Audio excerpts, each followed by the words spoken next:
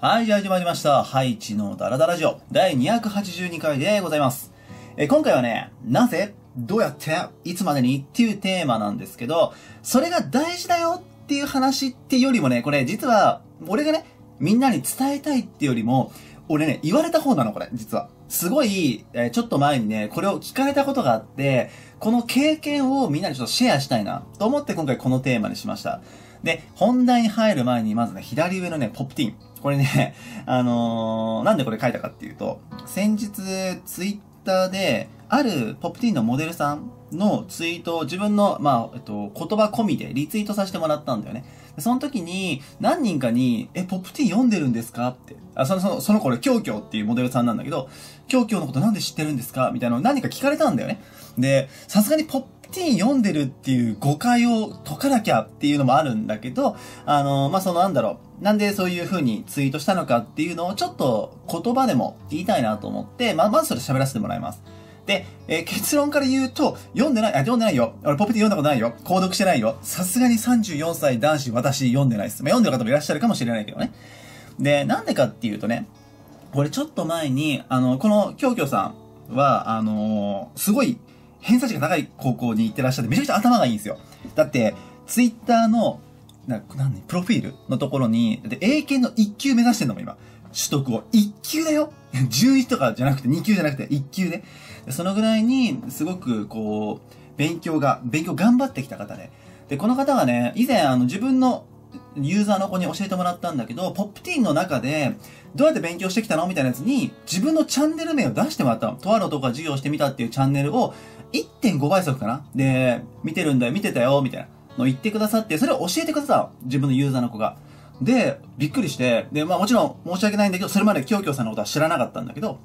で、まあなんだろう、嬉しかったし、で、ちょっといろいろこうツイートとか見てたら、すごいこう、頑張り屋というか、自分を一生懸命自分でしっかり、なんだろう、これね、すごい誤解があると、まあ、京京さんファンに怒られる、まあ、京京さん本人もちょっと怒られるかもしれないんだけど、読んでる感じだと、そんなに自信がめちゃくちゃあるっていう感じじゃないけど、でも自分でこう、なんか、中からこう頑張って出して、で、なんだろう、前に進んでいくって、足を止めてる場合じゃないよ、できることやっていかなきゃ、みたいなのをすごいやってる方、なんかね、個人的にすごく好きで、そういう姿勢というか。で、まあ、ツイッターフォロー、家庭に、ちょっと無言でフォローさせてもらって、で、見てたわけよ。で、まあなんか今さ、そのポップティーの表紙かなんかな、バトルね、なんかリツイート数でみたいなのが、なんかバトルやってて、で、なんかそれがさいさなんか最後に落ちちゃったんだよね。そう、選選ばれなかったというか落ちちゃって、で、それのなんか、見たときに、それをこう、リツイートさせてもらって、素敵な人ですね、みたいなのをちょっと長文で書かせてもらったんですけど、そうそう。だからまあ今回伝えたかったのは、別に購読してるわけじゃないよっていうことと、まあそういったきっかけがあって、そう、紙面で言ってくれたからさ、あって、まあこういう風に知ってたんだよっていうところ。で、あとはもう本当に、まあちょっとね、さすがに年の差があるので、なかなか接点はないと思うんですけど、この先も。でもまあなんか、なんかの機会でお会いして、うん、お話はしてみたいなと思う。すごく素敵な方だし、まあ、ちょっとそんな偉そうな、ちょっと上から目線でね、偉そうな感じになっちゃうんだけど、多分ね、この方ね、もっとすごい上のステージに行くと思うんだよ。いや、俺も、俺は全然、あの、上、下のステージから見てるだけなんだけど、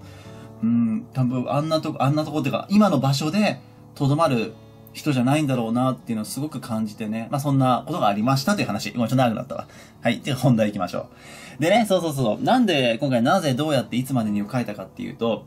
まあ、この前さ、え、他の動画でちょっと話したけど、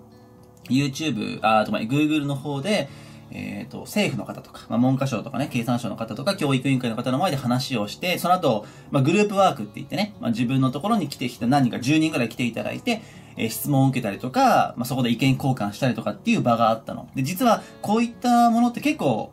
去年あたりから多くって、で、もちろん自分のことを全く知らない方たちに集まってもらって、いろんな意見をいただくの。で、やっぱり正直怖い面もあるんだよ。あのー、まあ、YouTuber って中でもちょっとえって思うし、しかも教育がくっつくと、はってなったりするからね。人によっては。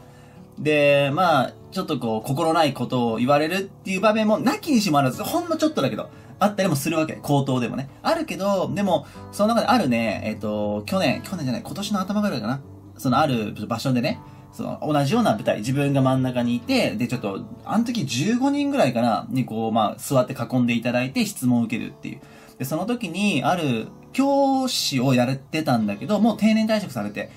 で、でもなんかね、定年退職されてるんだけど、教育に携わってる、すごいエネルギッシュな、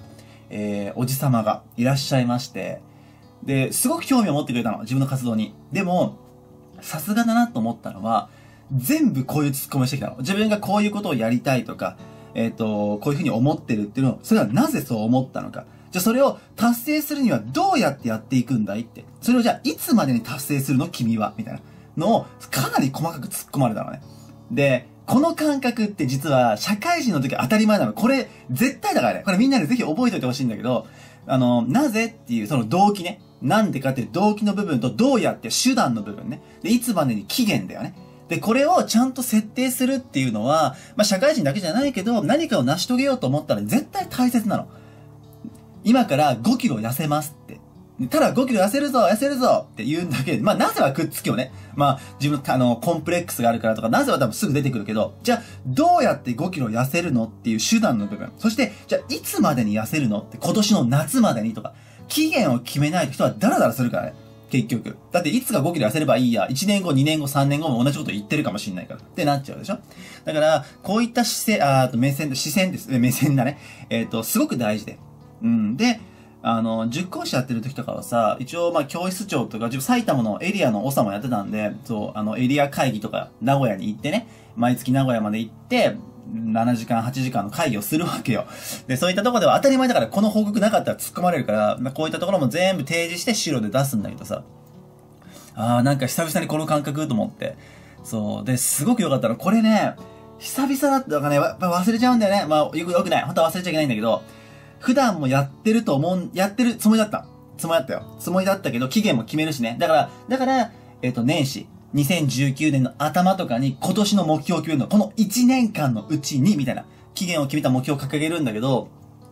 日常的にやるときに、まあ、仕事今こなしてるとさ、YouTuber、まあ、YouTube の動画投稿って、案件とかね、俺企業案件やったことないからわかんないけど、案件とか期限があるわけよ。ここまでに投稿してくださいみたいなのあるんだけど、ふ、自分の動画ってないからさ、編集間に合わなかったらじゃあ明日でいっかとかもできるわけよ。だから、そういった意味で、あ、ちょっとこの目線、すごく忘れてたな、と思ってね。そうで、まあその時も本当にめちゃくちゃ聞かれたんだけど、でもめちゃくちゃ詳しく聞かれて、それを詳しくきっちり言葉にして返すことによって、自分の頭の中が整理されるの。曖昧だった部分が、その、そぎ落とされて、あ、なるほどって。そうか、俺こういう風に考えてるんだっていう。若干話がそれるんだけど、人って、口に出すこと、アウトプットすることで自分の頭の中がスッキリする、整理されると思ってるの。これ間違いない、絶対に。だから、自分の中でさ、こういうことやりたいなっていろんなことみんなが思いがあるかもしれない。それって口に出した方がいいんだよね。なぜかっていうと出そうと思うとうまく喋れなかったりする。なぜかまとまってないから。でも、それは別に何かさ、大きな舞台で発表するわけじゃないじゃん。別に知り合いとか家族に喋るぐらいだったら、うまく喋れる。だから、ごめん、結局何言いたいかわかんない。みたいになってもいいわけよ。それをすることによって、だんだんだんだんまとまってくるわけだから。そう。で、まあそれもね、自分もそういう機会があって、で、まあそれを、今回まあシェアしたかったってことなんだけど、で、最後にもう一個言いたいのは、その真ん中のね、否定と意見ってあるじゃないですか。やっぱり、例えばさ、なんでそれやりたいの？って言われた時に、まあ、言い方もあると思うんだけど、ちょっと自分のことを否定されてんのかなって思う瞬間もあると思うんだよね。え、なんでそんなことやりたいの？って言われるとさ、え、そんな変なことやっておかしなやつって思われてんのかな？みたいなも思う可能性もあるわけじゃん。でも、否定と意見ってすごく似てたりするの。やっぱ受け取り手に自由があるからさ、相手がそういったね、否定をするつもりで言ったんじゃないんだけど、受け取り側、こっちが否定だと思ってしまったら、それは否定になっちゃうんだよね。だって受け取り手に自由があるから、そこはさ。でも、その否定と意見っていう部分をみんなの中できっちり住み分けしなきゃいけない、これから。みんなが、例えば夢を持つのか、何かを行動を起こそうと思った時に、みんながみんな、100人いたら100人がみんなが頑張れって応援してるぞとはならないわけよ。無関心の人ももちろんいるしね、それに対して。だから、意見を言ってもらった時、何かを言われた時に、それが単純に自分を否定しようと思ってるものだったらもうそんな気にしなくていい。もう本当にぐちゃぐちゃってもうぐちゃぐちゃってしてゴミ箱に捨てちゃいな。トイレ流しても構わない。そんなもんは。でも、もしかしたらみんながちょっと一瞬、うって、なんか否定されてるのかもって思ったんだけど、冷静に考えたら自分のことを思って意見をしてくれてるっていう場面もたくさんあるから。だから、そういったものを削ぎ落としちゃうともったいないんだよ。ただ、際どいところだから、その時のみんなの精神状態、ちょっと気持ちに余裕があればさ、意見って受け取れるんだけど、いっぱいいっぱいになっちゃって、落ち込んでる時、凹んでる時に言われると、それが否定になるかもしれない。だそこはもちろんうまくね、自分をコントロールする必要が出てくるんだけども、ただ、もの、あとみんなの中、みんなに何かを言ってくる人に対して、人に関しては、否定の人もいれば意見の人もいる。っていうことをしっかり頭の中に置いておくこと、その、えっと、視点を持っておくことは非常に大事なことなので、ぜひね、頭の片隅に置いておいてください。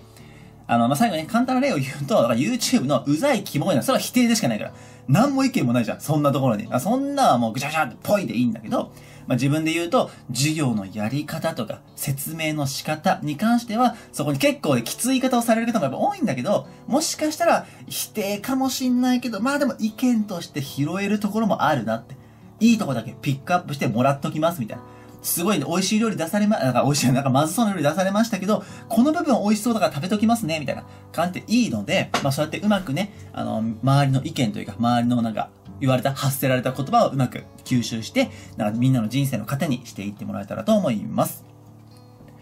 では、今回はね、ハイチのダラダラジオ、テーマがなぜ、どうやって、いつまでにというテーマで喋らせていただきました。え今回もね、最後までお聴きいただき本当にありがとうございました。では来週またね、何か喋っていきますので、もしよかったらそちらの方もぜひね、お付き合いください。では、今回はこれで終わります。以上です。ありがとうございました。